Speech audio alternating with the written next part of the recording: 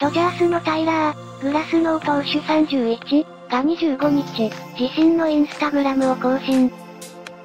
チームメイトである山本由伸投手26をタグ付けし、笑いを誘った。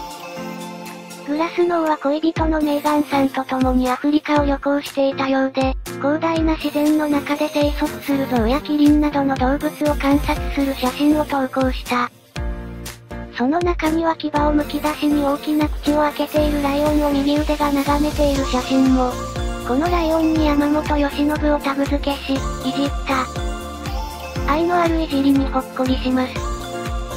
ライオンがトレードマークなんてかっこいいじゃないか。大谷さんが挙げたのは赤ちゃんライオンだったが来季は先発で110の王になってほしいね。山本由伸なら本当にグラスノーと旅行行きそう。グラスノーも早くこの彼女と結婚すればいいのに。みんなオフは遊ぶね。吉信が愛されてて嬉しいよ。これだけ海外でもチームメイトにいじられるってすごいいい関係性が見れるね。こういういじりは、愛されている証拠。溶け込んでいますねグラスノー吉信のこと好きすぎるやろ。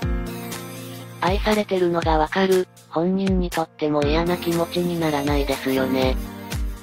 アフリカ旅行中に何かだだこねて怒ってる山本由伸。由伸愛されキャラう。いじられキャラになってますね。それでもライオンやからかっこええやん。まあ本人も溶け込めて嬉しいでしょう。来年は15勝以上を期待します。愛される山室。こっちも笑顔になりますね。チームメイトもいじりやすくてお気に入りになっちゃうね。